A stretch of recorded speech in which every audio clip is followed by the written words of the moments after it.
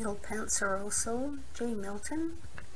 Here Milton rejects the delusions of life's mindless joys, and we journey with him through many well-known, to him for sure, stories to his own contemplated old age and prophetic wisdom, where he chooses to live with melancholy. The notes written in the margin seem to be from a student or students, and I will note them here, the ones I can make out anyway. I'll just go over the ones that I, I can't make out. You may have better luck with them.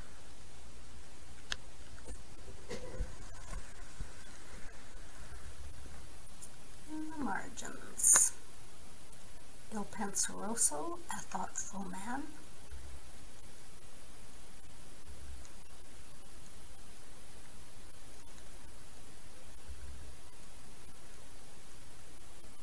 Motes, dust particles, Morpheus, god of sleep, sage, wise.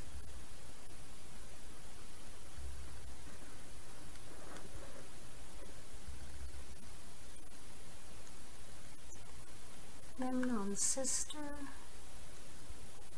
something for beauty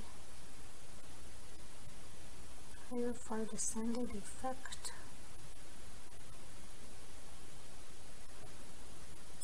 It's to memorize from Compence of None down to They'll Fix Them on Earth. Wanted state, stately carriage.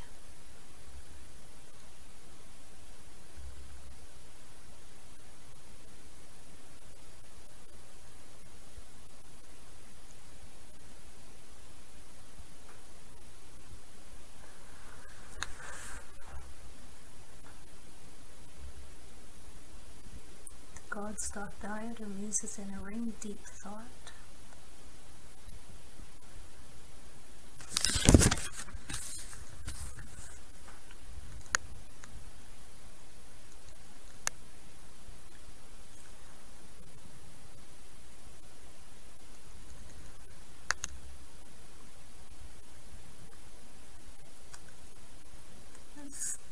Dana Song, Nightingale.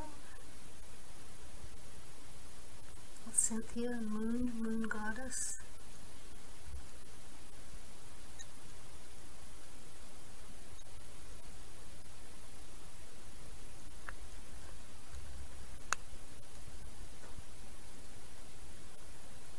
Less Philomel unless you can get Philomel.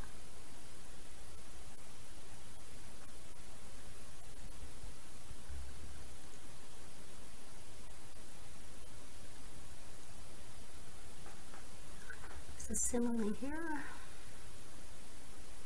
Place will fit, suit his moods.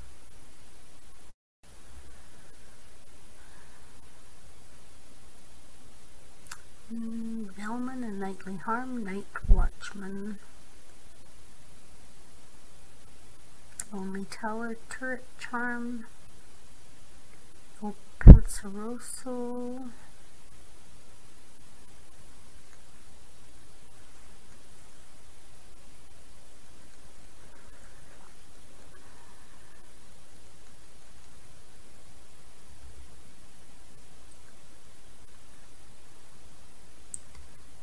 Scepter's pall is Heaven. Oh no, Funeral.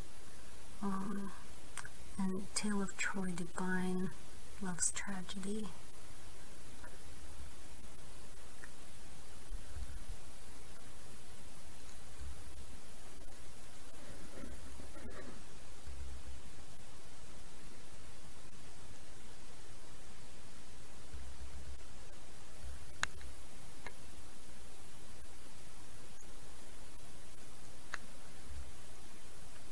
The pall comes sweeping by the royal robe and carrying the scepter. From his bower hear poets of the past. Left half told Chaucer from the grave. Trophies hung, half sung, outcome is tragic. think pentameter. Comely cloud piping loud. The day is very sober.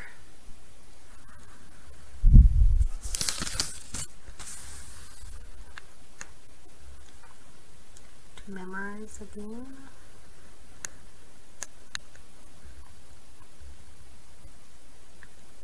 Never been um, axe, a full tree.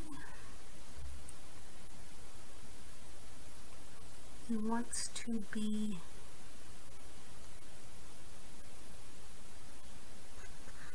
hurdled. Garish eye, busy eye. Dewy feathered sleep, angels. Portraiture, lovely pictures. Many kind of religious imagery and bring heaven before his eyes.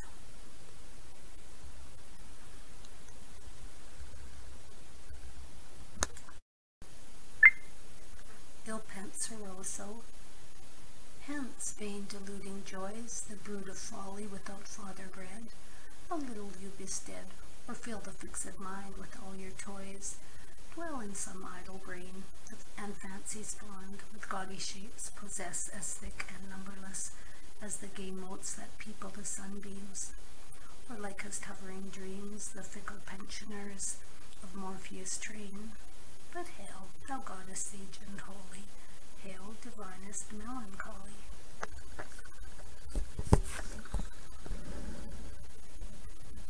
Whose saintly visage is too bright to hit the sense of human sight, and therefore to our weaker view are laid with black, staid wisdom's hue. Black but such as in esteem Prince Memnon's sister might be seen, or that starred Ethiop queen that strove to set her beauty's praise above the sea nymphs, and her powers offended. Yet thou art higher far descended, the bright-haired Vesta long of yore, to solitary Saturn bore. His daughter she, in Saturn's reign, such mixture was not held esteem. Oft in glimmering bowers and glades he met her, and in secret shades of woody eyes inmost glowed. Whilst yet there was no fear of Jove. Come, pensive nun, devout and pure, sober, steadfast, and demure, fall in a robe of darkest green, flowing with majestic train, and sable stole of cypress lawn, cover thy decent shoulders dry.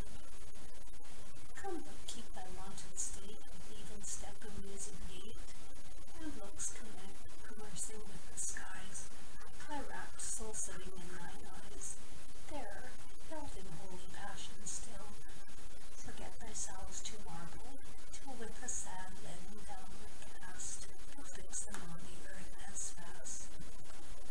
Enjoy with thee calm peace and quiet, spare fast that oft with God's doth diet, and here's the muses in a ring, hanging round about Jove's altar sing, and add to these retired leisure, that in trim gardens takes his pleasure.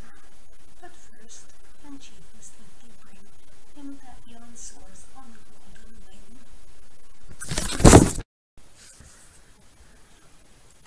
Guiding the fiery wheeled throne, the chair of contemplation, and to mute silence hissed along, lest Philomel will deign a song in her sweetest, saddest plight, smoothing the rugged brow of night. While Cynthia checks her dragon yoke gently o'er the accustomed oak, sweet bird, that shunts the noise of folly, most musical, most melancholy.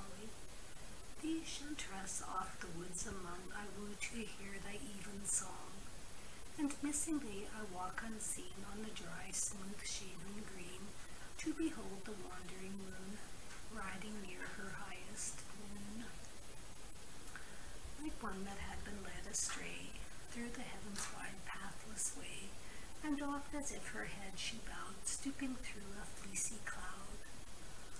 Oft on a plat of rising ground I hear the far-off curfew sound, over some wide watered shore swinging slow with sullen roar, or if the air will not permit, some still removed place will fit.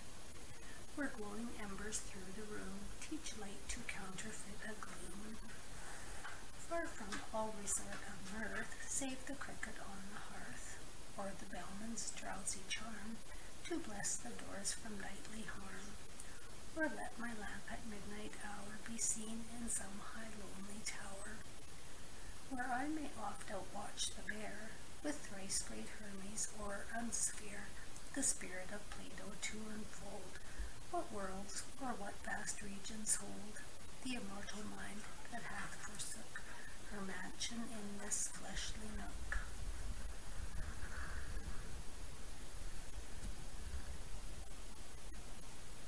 And of those demons that are found in fire, air, flood, or underground, whose power hath a true consent with planet or with element, sometime let gorgeous tragedy and sceptred pall come sweeping by, presenting Thebes or Pelops' line, or the tale of Troy divine, or what, the rare of later age, ennobled hath the buskin stage. But O said Virgin, that thy power might raise Musaeus from his bower, or bid the soul of Orpheus sing such notes as warbled to the string, drew iron tears down Pluto's cheek, and made Hail grant that what love did seek.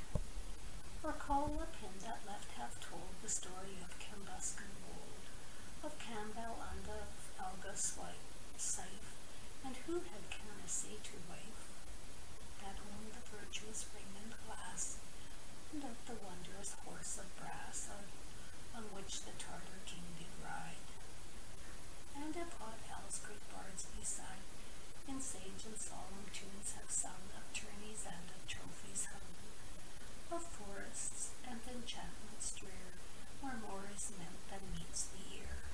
Thus, night, oft see me in thy pale career, till silver, civil suited morn appear, not tricked and flounced as she was wont with the Attic boy to hunt, but kerchap in a comely cloud, while rocking winds are piping ushered with a shower still, when the gust hath blown his fill, ending on the rustling leaves with minute drops from off the eaves. And when the sun begins to fling his blaring beams, we goddess bring.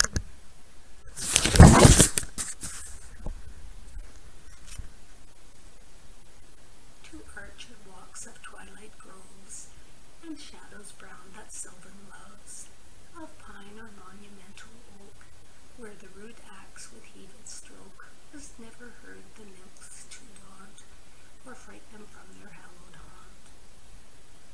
There, in covert by some brook, where no profaner eye may look, hide me from day's garish eye, while the bee with honeyed thigh, that at her flowery work doth sing, and the waters murmuring.